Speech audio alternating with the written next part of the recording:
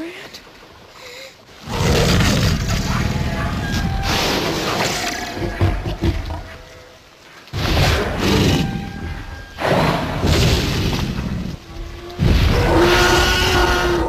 Boy, do I hate being right time.